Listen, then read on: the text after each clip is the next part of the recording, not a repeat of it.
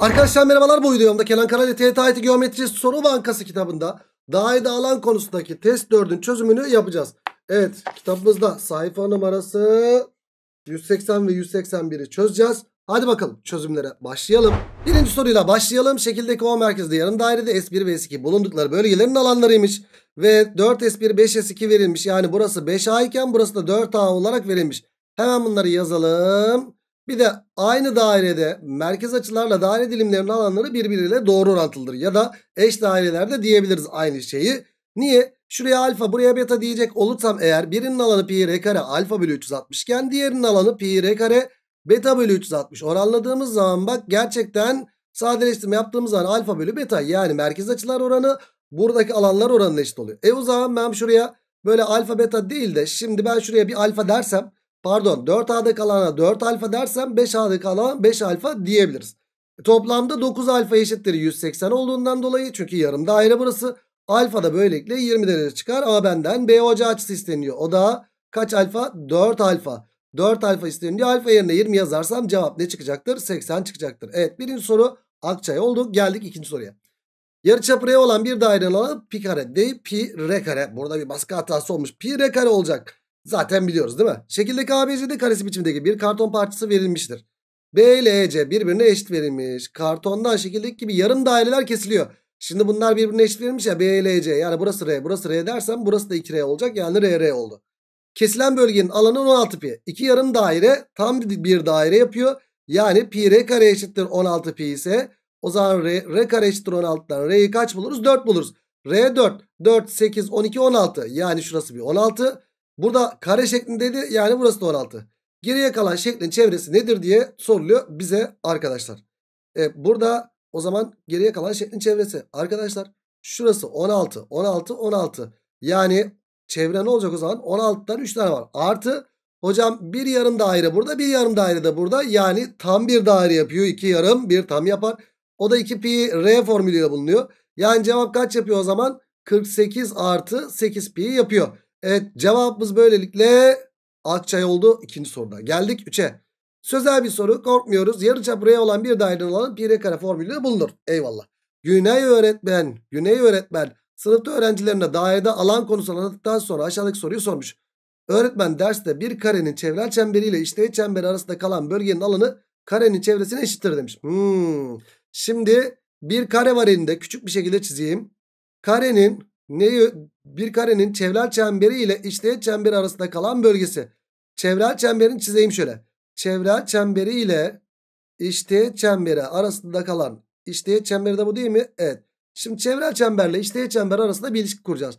Arkadaş merkez T'ye çektik. Merkez T'ye çektik. Tamam çok güzel. Burası R. Burası R. E hocam merkez T'ye çektik.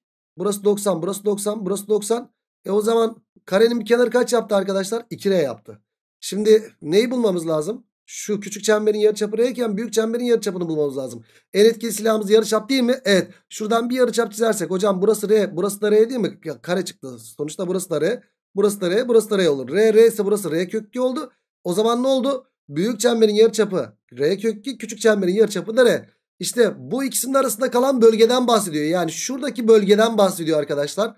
E, bu arada kalan bölgenin alanı karenin çevresine eşitmiş. He, sayıca eşit olacak tabii ki. Evet o zaman bu bölgenin alanı pi r kökinin karesi eksi pi r kare ne eşitmiş arkadaşlar? Bu karenin çevresine eşit olacak. Yani 2r ya burası 2 4 6 yani 2r'den 4 tane var. 8r'ye eşit olacakmış. Pi yerine de 3 alınız diyor. Hemen şöyle 3 yazalım istersen. O zaman burası ne yaptı? 2, 2r kare yaptı. 3 ile çarptığın zaman 6r kare yaptı. Eksi e, sonra bu 3R kare yaptı. 3R kare eşittir 8R'ymiş. E buradan 3R kare eşittir 8R oldu. R'lerden birer tanesi gitti. 3R eşittir 8 ise R'yi de böylelikle ne buluruz? 8 bölü 3 şeklinde buluruz. Yani 3. soru böylelikle Ceyhan oldu. Geldik 4. soruya. Şimdi teğet teğet merkezden geçince ne oluyordu? Direkt açı orta oluyordu. Teğet teğet. Ve bu arada teğet teğet uzunlukları da birbirine eşit. Yani 9 ise burası da 9 olmak zorunda. E bu da aynı zamanda teğet teğet merkezden geçince açı ortay oluyordu. Çünkü merkez teğet çektik merkez teğet çektik. Bak bu da yarıçap bu da yarıçap. Kollar açılan dikmeler eşit ya oradan dolayı geliyorlar. Hatta bak bu da yarıçap kollar açılan dikmeler eşit oradan geliyor. E burada ne yapacağız? Boyalı alanlar toplamı. Arkadaşım burada ne yapacağız? Şu çizgileri bir silelim. Şimdi burada yamuk var burada gördüğünüz üzere yamuk dik yamuk. Hocam yamukta açı ortaylar nasıl kesiyordu? Dik kesiyordu. E tamam çok güzel. E biz ne yapacağız? Bu dilimlerin alanını bulacağız. Bu dilimlerdeki bu açılar toplamı lazım olacak bana. E hocam alfa artı beta'nın ne olduğunu biliyoruz. 90 olduğunu biliyoruz. O zaman bu dilimlerin toplamı 90'lık dilim yapıyor. Yani çeyrek daire dilimi yapıyor. O zaman benim yarı çap bulmam lazım. Yarı çapı nasıl bulacağız? Hocam merkez var, teğet var. Çeyrek dik yapsak.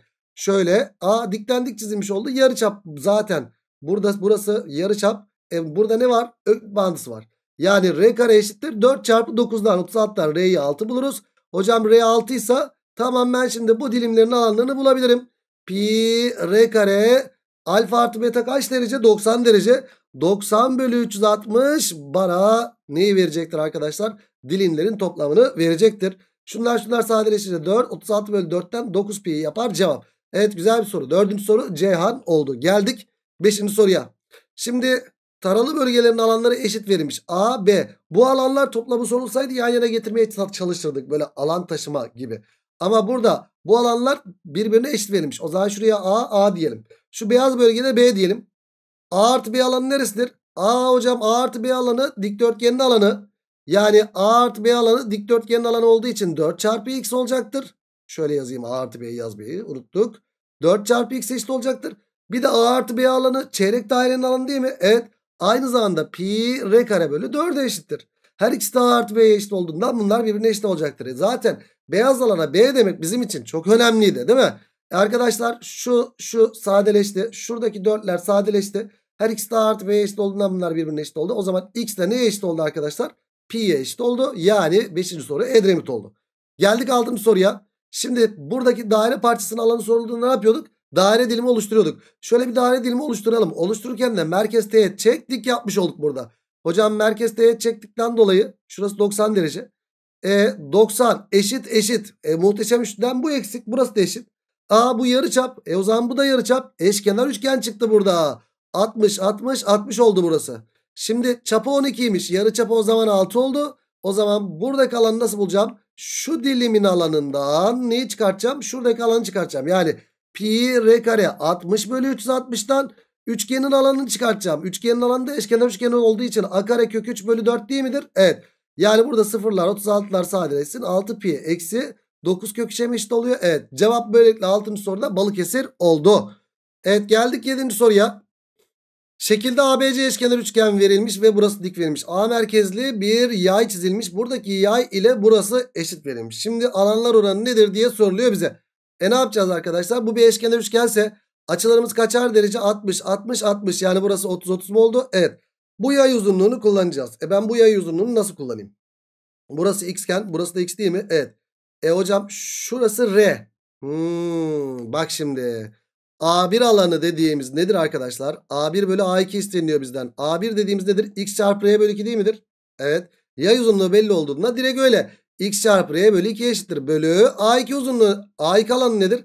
A2 alanında hocam tabanına ait yükseklik. ister X tabanına ait yükseklik çizelim. istersen R tabanına ait yükseklik çizelim. Şöyle çizsek 90'ın karşısı X ise burası X bölü 2 değil midir? Evet. Bu da R çarpı X bölü 2 bölü 2. R çarpı X bölü 2 bölü 2'ye eşit. E hocam bölü 2'ler nanay.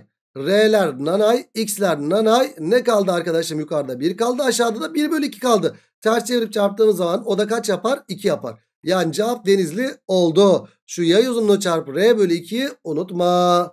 Evet 7. soru denizli. Güzel bir soruydu. Geldik 8'e. Şekil 1'deki daire biçimindeki renkli karton parçası makasla kesilerek şekil 2'deki gibi konumlandırılmış. Evet güzel bir soruya benziyor bu da. Şimdi AB ile BC yaylarının toplamı 180 demiş. E burası toplamı 180 ise burası da 180 yapar. Çevre açıdan dolayı burası kaç derece yapar? 90 derece yapar. Bunu bulduk. Peki alttakine bakalım. Şurayı 90 derece bulduk. Sonra ne var burada? Şurayı kullanayım. 1 2 kök 5 üçgeninden dolayı burası 2 olmak zorunda mı? Evet. E sonra ne yapacağız arkadaş? Şimdi dikkat. Sen bunu makasla kestin. Şöyle ayırdın. Hocam burası buraya eşit değil mi? Evet. Yani buraya A dersen A artı 2 ise burası da A artı 2 değil mi? Aynen öyle. Çünkü sen buradan bunu kesip bunu aşağı doğru getirdin ya. Şu parçayla şu parça eşit olacak. Bak güzel bir soru. A artı 2 burası. A burası 4 burası. Hocam direkt Pisagor bağıntısı ama bence 3 4 5. Sence de anlamışsındır zaten hissettirerek. Değil mi? Peki geldik buraya. O zaman ben buraya bir x dersem E, hocam burası x artı 4 ise burası da x artı 4 mü? Evet.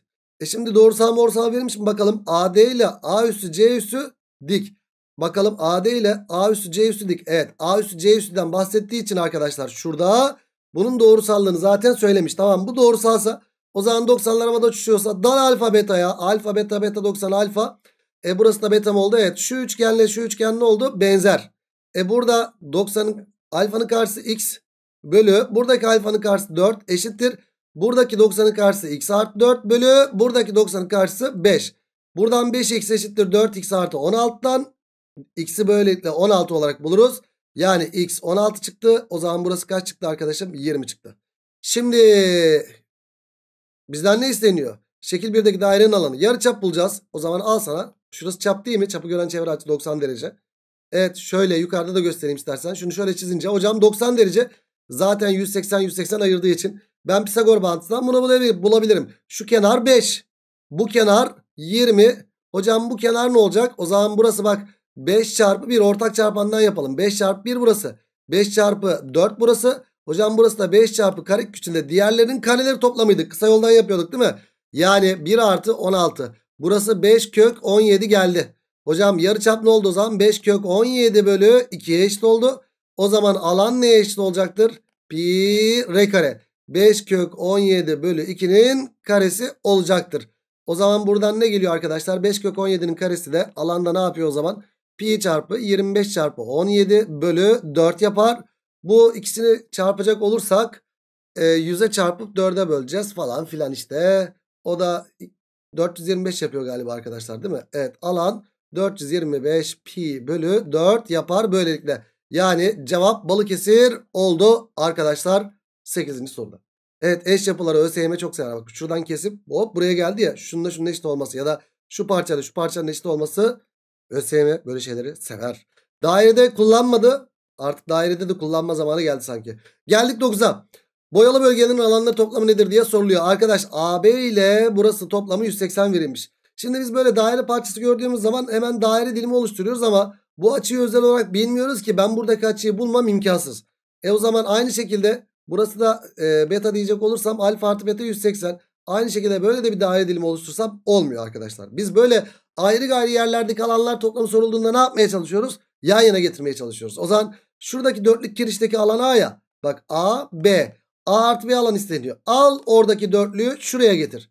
Hocam buradaki alan da A alanı mı olur? Evet. Burası A alanı olmak zorunda. Eşit kirişlerin ayırdıkları alanlar birbirine eşit olduğundan dolayı. Evet. Buradan bir 4 aldığım zaman. E şimdi ayırdıkları böyle ölçüler de birbirine eşit. E, o zaman burası da alfa. Bak alfa artı beta'yı kaç vermişti bize? 180. Hocam o zaman burası da 180 yapar. Aa ne geldi? 90 derece geldi. E o zaman ben bunu böyle çizersem bu bizim çapımız yapar. Çapı gören çevre açı 90 derece.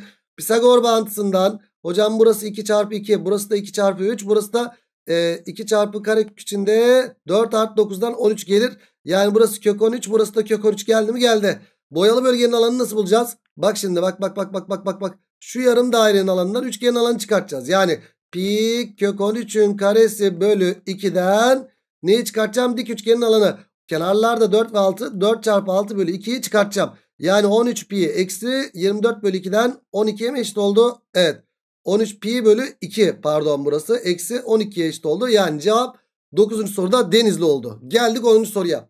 Evet yarıçapı 4 4 2 2 yazdık. Boyalı bölgenin alanı. Büyük yarımdan 2 tane küçük yarımı çıkartacağım arkadaşım. Büyük yarımın yarıçapı lazım bize. 4 8 10 12. Yarıçapı çapı 12 ise yarıçapı 6 mı yapar? Evet. Yani pi r kare bölü 2'den büyüğünün yarısından 2 tane küçük yarıyı çıkartacağız. Pi 4'ün karesi bölü 2 eksi pi 2'nin karesi bölü 2'yi çıkartacağız arkadaşlar.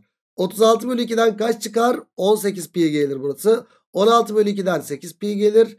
4 pi bölü 2'den de burası da 4 pi bölü 2'den de 2 pi gelir. Yani kaç pi geldi o zaman arkadaşlar? Cevap 8 pi geldi. Yani cevap C yaptı 10. soruda. Ve geldik 11. soruya.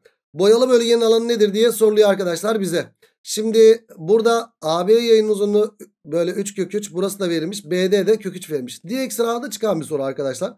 Yay uzunluğundan yapabilirsiniz. İşte ilk önce benzerlikten şurayı bulabilirsiniz. İşte R bölü R artı kök 3 3 kök 3 bölü işte 5 kök 3'ten R'yi bulabilirsiniz. Sonra Bu çarpı bu bölü 2 buradaki alanı dersiniz. Bu çarpı bu bölü 2 tamamının alanı dersiniz. Büyükten de küçüğü çıkartırsınız. Ya da yamuk olduğu zaman arkadaşlar yamuğa benzer buradaki alan aynı yamuğun alanı gibiydi.